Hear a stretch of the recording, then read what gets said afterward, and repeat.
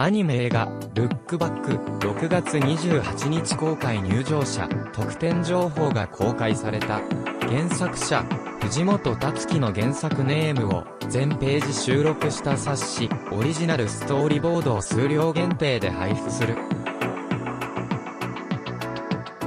原作コミックと同じボリュームで原作ネームの全てを見ることができる貴重な一冊となっている。